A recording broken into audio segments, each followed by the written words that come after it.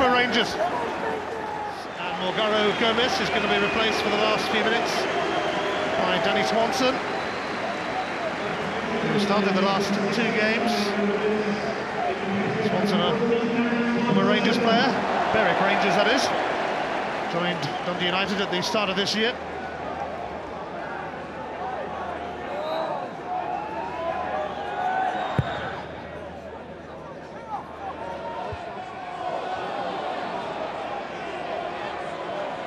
Robertson. And he's still progressing. And he's got a free kick off David Weir. Dundee United have uh, come close to beating Rangers a few times in recent times.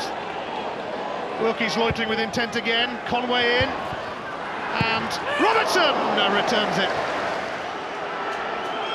Second half, he's got to grips in midfield.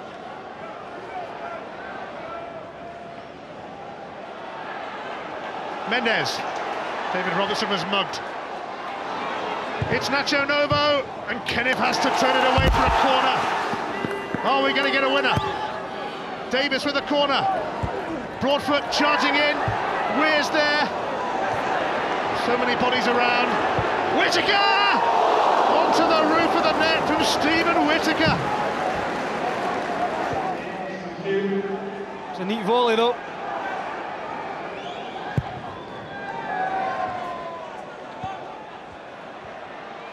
Daly.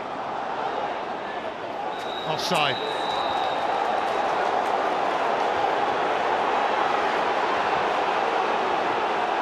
It's Rangers' turn to have another pop at Dundee United's goal, perhaps. McGregor's launching it towards Boyd. Gary Kenneth kept his eye on it, though. And Steven Whittaker's been penalised there. And Dundee United have taken it quickly. Jon Daly's in the middle. Conway Robertson is there too. And Conway gets a corner for Dundee United. And Rangers are raging with Ian Brines for that decision and the quick free kick. An enthralling end to this game. Rangers have their chance of a corner, now Dundee United have theirs. Conway floated in, and there's been a push. Ian Brines has blown his whistle.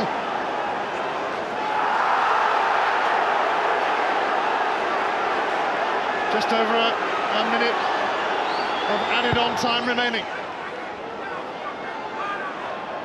Lafferty, Davis. Know Flood's going to be onto this.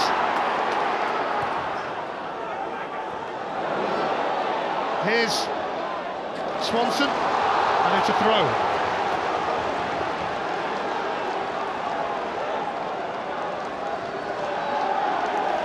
David Robertson, Willo Flood.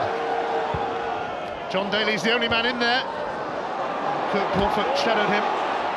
Robertson, David that is. Mendes, and maybe a last chance for Rangers to nick it, but Steven Davis has hooked it straight out. 30 seconds of injury time remaining.